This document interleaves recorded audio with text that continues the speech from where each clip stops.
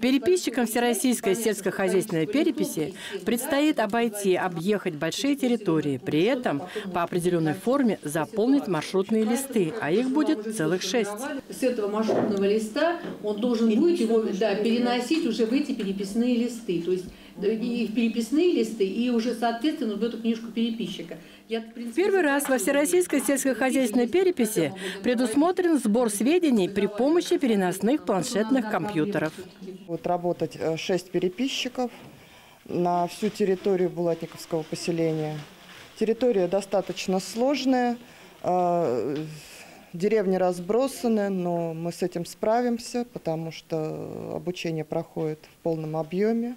Переписи 2016 года подлежат сельхозпредприятия, фермерские хозяйства, индивидуальные предприниматели, физические лица, имеющие земельные угодья под строительство жилья, ведение подсобного хозяйства, которых в районе насчитывается 13,5 тысяч. К сожалению, как показывает практика, некоторые жители неохотно участвуют в государственной акции.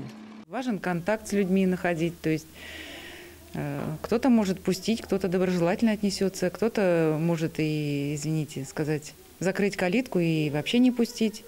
То есть такие тоже бывают. Но в основном ну, больше доброжелательных людей относятся с пониманием.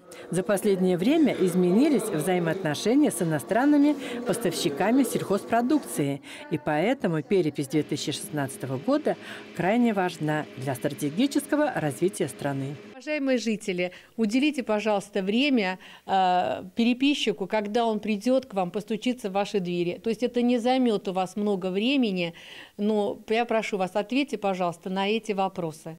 Кстати, Всероссийская сельскохозяйственная перепись юбилейная, и проходит она через сто лет после самой первой, 1916 года. А последняя проводилась в 2006 году. Ее данные во многом потеряли актуальность. Задачей нынешней является формирование сбора информации о состоянии структуры сельского хозяйства на данный момент для дальнейшего использования его ресурсного потенциала. Людмила Медведева, Евгений Петров, Екатерина Чернышова, Видное ТВ.